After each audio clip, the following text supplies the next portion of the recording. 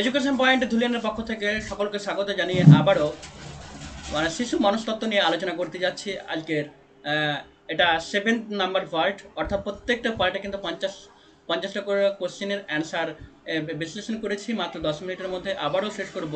মাত্র দশ মিনিটেই পঞ্চাশটা কোশ্চেন এবং তার অ্যান্সার সাধারণ শিক্ষায় তিনটি দক্ষতার নাম কি কি? একটা দক্ষতা হচ্ছে লেখার জন্য জ্ঞান বা লেখার জ্ঞান, পড়ার জ্ঞান এবং সরল পাটিগণিতের জ্ঞান। নাগরিকতার শিক্ষা, সাধারণ ধর্মী শিক্ষা না বৃত্তিমুখী না কারিগরি শিক্ষা তা লিখুন। সাধারণ ধর্মী শিক্ষা হচ্ছে নাগরিকতার শিক্ষা। কোন শিক্ষাকে বিশেষ শিক্ষার প্রস্তুতি স্তর হিসেবে গণ্য করা হয়? সাধারণ শিক্ষাকে। পারিবারিক জীবন যাপনের শিক্ষা সাধারণ না বিশেষ শিক্ষা তা লিখুন। সাধারণ শিক্ষা। ডাক্তার বা ইঞ্জিনিয়ার তৈরি করার জন্য যে শিক্ষা দেওয়া হয়, তা কি কি ধরনের শিক্ষা? ডাক্তার বা ইঞ্জিনিয়ার সবসময় বৃত্তিমুখী শিক্ষা। বৃত্তিমুখী শিক্ষার একটি প্রতিষ্ঠানের নাম লিখুন, জুনিয়র টেকনিক্যাল স্কুল। গবেষণামূলক কাজের একটি প্রতিষ্ঠানের নাম লিখুন, বসু বিজ্ঞান মন্দির। কোন শিক্ষা দেশের উৎপাদনশীলতা বৃদ্ধিতে সাহায্য করে? বৃত্তিমুখী ও কারিগরি শিক্ষা। দেশের উন্ন- উৎপাদনশীলতা বৃদ্ধিতে সাহায্য করে। বিশেষজ্ঞ সৃষ্টির জন্য কোন ধরনের শিক্ষা প্রয়োজন? বৃত্তিমুখী ও কারিগরি শিক্ষার প্রয়োজন। কালচার শব্দটির বাংলা অর্থ কি? কালচার শব্দটির বাংলা অর্থ হচ্ছে কৃষ্টি বা সংস্কৃতি। কৃষ্টি কি? সঞ্চালনযোগ্য সব রকম সামাজিক উত্তরাধিকারের সমষ্টি। দূরাগত শিক্ষা কি ধরনের শিক্ষা পদ্ধতি? প্রথা বহির্ভূত শিক্ষা পদ্ধতি হচ্ছে দূরাগত শিক্ষা পদ্ধতি। পৃথিবীতে বিভিন্ন দেশে দূরাগত শিক্ষা মোট কতগুলি নামে পরিচিত? আঠাশটি নামে পরিচিত, অর্থাৎ ডিস্টেন্স এডুকেশনের নাম আরও আঠাশটি রয়েছে। দুটি দূরাগত শিক্ষা প্রতিষ্ঠানের নাম লিখুন। নেতাজি সুভাষ মুক্ত বিদ্যালয় এবং রবীন্দ্র মুক্ত বিদ্যালয়। এশিয়ার মধ্যে বৃহত্তম মুক্ত বিদ্যালয় বা বিশ্ববিদ্যালয় কোনটি? IGNOU, Indira Gandhi national open university যাকে ইন্দিরা গান্ধী জাতীয় মুক্ত বিদ্যালয়, বিশ্ববিদ্যালয় বলা হয়। দিল্লি বিশ্ববিদ্যালয়ে করসপন্ডেন্স কোর্স কত সালে চালু হয়। উনিশশো বাষট্টি খ্রিস্টাব্দে করসপন্ডেন্স কোর্স দিল্লিতে চালু হয় প্রথম। অন্ধর বিশ্ববিদ্যালয়ে কবে মুক্ত বিদ্যালয়? অর্থাৎ অন্ধ্র, আন্ধ্রা বিশ্ববিদ্যালয়ে বা আন্ধ্রপ্রদেশ বিশ্ববিদ্যালয়ে কবে মুক্ত শিক্ষা ব্যবস্থা চালু হয়? উনিশশো বিরাশি খ্রিস্টাব্দে। ইগনোর সম্পূর্ণ নাম কি? Indira Gandhi national open university পশ্চিমবঙ্গের মুক্ত বিশ্ববিদ্যালয়ের নাম কি? নেতাজি সুভাষ মুক্ত মুক্ত বিশ্ববিদ্যালয়। ইন্দিরা গান্ধী জাতীয় মুক্ত বিশ্ববিদ্যালয়টি কত খ্রিস্টাব্দে প্রতিষ্ঠিত হয়? উনিশশো পঁচাশি খ্রিস্টাব্দে।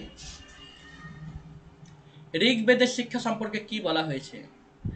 ঋগ্বেদের শিক্ষা সম্পর্কে বলা হয়েছে, শিক্ষা হলো এমন এক প্রক্রিয়া যা মানুষকে আত্মবিশ্বাসী এবং আত্মত্যাগী হতে উদ্বুদ্ধ করে। যাজ্ঞ বল্কের মতে, শিক্ষা কি? যা মানুষকে সৎ চরিত্রের অধিকারী এবং বিশ্বের কাছে গ্রহণযোগ্য বা প্রয়োজনীয় করে তোলে, তাই হলো শিক্ষা।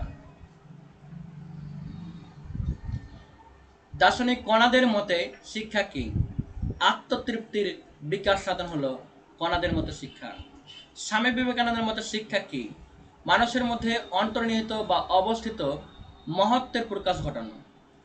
স্বামী দয়ানন্দের মতে শিক্ষা কি? স্বামী দয়ানন্দের মতে শিক্ষা হলো চরিত্র গঠন এবং ধার্মিক জীবনযাপনের উপায়।